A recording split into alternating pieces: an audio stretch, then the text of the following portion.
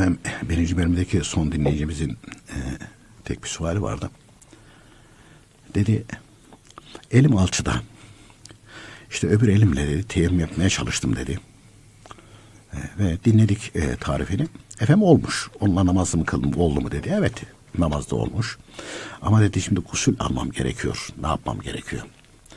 Efendim gusülde de eğer yapabilirse alçıdaki e, elini kolunu oraya bir naylon torba geçirir, bağlar. Streçle sar, sarabilir. Streçle de sarabilir.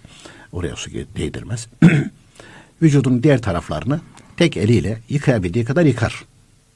Gusül alır, ağza burnuna su verir. Yıkar. Ondan sonra da bittikten sonra o naylonu çıkarır. Islak eliyle de o alçının üzerine mesheder. Gusül oldu mu? Oldu.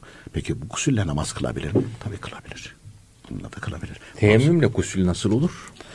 Teyemmümle de gusül yapabilir. Diyelim ki mesela dinleyicimiz efendim evet o kolum benim sarılı ama öbür kolum da aynı şekilde suya temas edip de değecek ve yıkayacak durumda değil.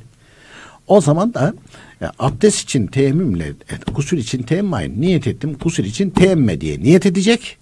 Aynen abdestte yaptığı gibi yapacak. Yani ellerini vuracak, yüzünü mesleyecek, ellerini vuracak, e, iki kolunda mesleyecek. Bu kadar. Nereye kadar? Suyla temasa geçene kadar. Bir de e, buraya gelirken bir dinleyici Ataullah Harvas Bey'e telefonda sormuş. Demiş doktora gittim. Kulaklık işte kulağının bir rahatsızlığı varmış. Bu kulaklık takıldı ona demiş su değdirmeyeceksin demiş. Doktor da fetvayı vermiş teyemmüm yaparsın demiş. Oo. en azından teyemmüm yaparsın demiş. Abdest alma diyebilir diye. Efendim dört mezhepte de kulağı yıkamak veya meshetmek farz değil. Dördünde de. Dolayısıyla kulağında kulaklık varsa, orada bir şey varsa normal abdestini alır, o kulağına su değdirmez. Farz olmadığı için de herhangi bir problem olmaz. Keşke doktor ben o konuda cahilim diye bağırmasaymış. Şimdi siz bunu anlatınca cahilliği ortaya çıktı.